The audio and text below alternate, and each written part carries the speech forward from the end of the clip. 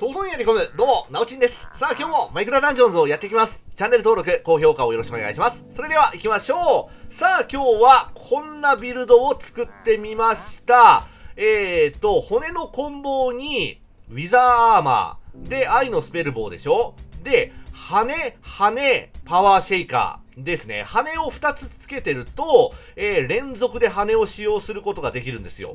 で、えー骨の棍棒は羽との相性がいいので、連続攻撃ができる。えーこんな感じになります。こんな感じ。キノコ使ってないんだけども、キノコ以上の、え攻撃速度を出すことができますし、パワーシェイカーがあるので、火力も十分。という感じですね。あのー、カバンとか使ってみたんですけども、カバンを出す瞬間攻撃ができないので、えーパワーシェイカーの方が良さそうでした。で、えー骨の棍棒は、このエンチャントがベストです。えーアーティファクトシナジーとダイナモ、リフレッシュ、虚無ですね。えー羽ぴょんして確実に1回攻撃するので、えーアーティファクトシナジーとダイナモが1回ずつ乗ります。超火力が出るんですよ。まあ、行きましょうか。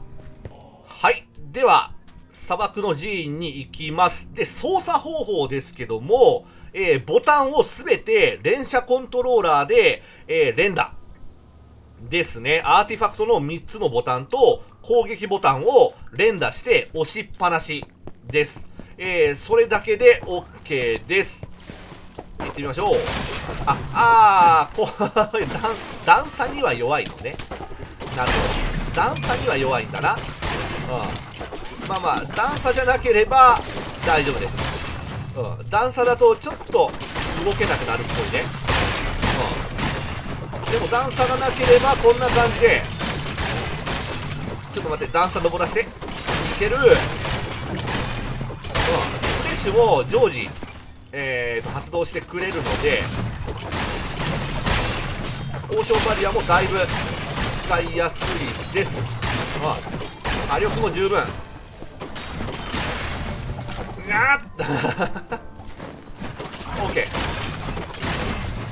やっぱりね、この骨の棍棒ってめちゃくちゃ強いんですよ。うん。このキノコを使わなくていいところがいいよね。うん。大体、どの武器でもキノコってすごく必要になるんですけども、この装備は、キノコが必要ではない。OK。ただちょっと矢が足りないかな。いやでも大丈夫か。うん。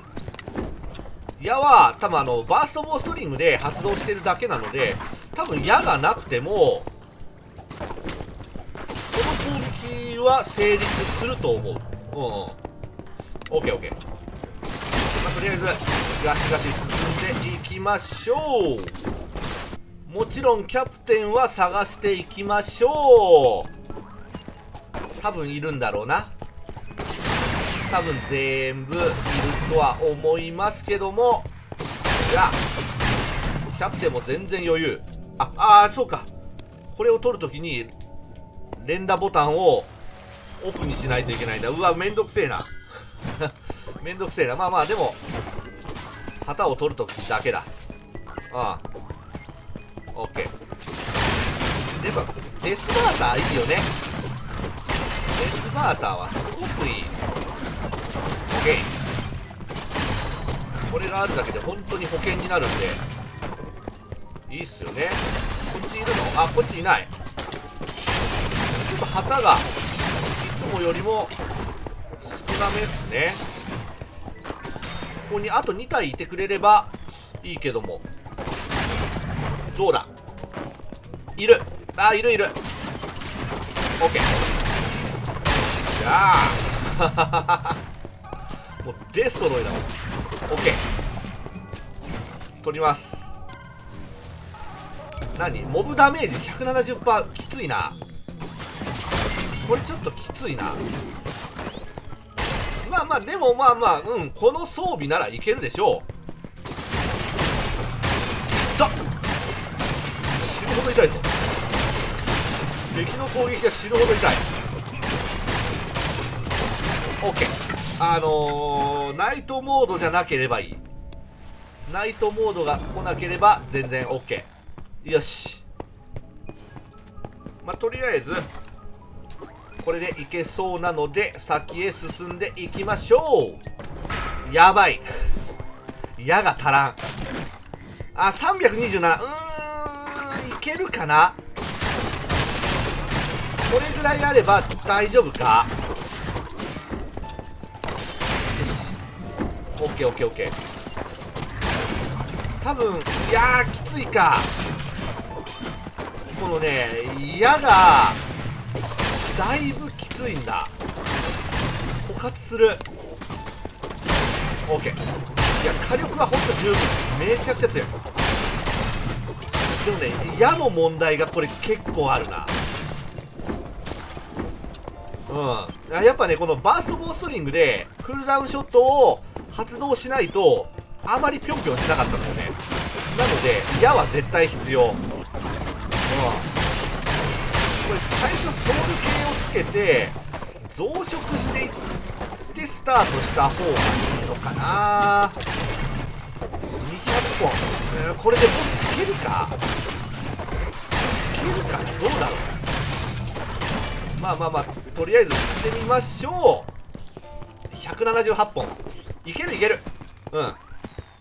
まあクリアまで持つか分かんないけどもこのボス倒すまでは多分大丈夫。うん。OK どこいる？どこ来る？どこ来る ?OKOKOK じゃあこのねポーションバリア使って込めば全然 OK おおいいね。めちゃくちゃ強い めちゃくちゃ強い OK じゃああとはクリアするだけ。やばちょっと待って。結構きつい。OK まあまあとりあえず。いけるでしょう。いけるね。もう変更が鬱陶しい。クリア。は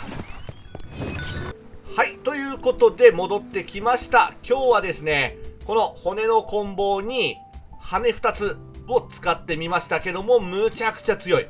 うんむちゃくちゃ強い。まあこんな感じですね。ああーそうか。バーストボーストリングが発動しないといけない。こんな感じ。バーストボーストリングが発動するとこんな感じでぴょんぴょんぴょんぴょんしてキノコ以上の攻撃速度で戦うことができます。電車コントローラーを持ってるならばぜひやってみてください。はい。ということでまたやっていきます。チェックをよろしくお願いします。そしてチャンネル登録と高評価もよろしくお願いします。それではご視聴ありがとうございました。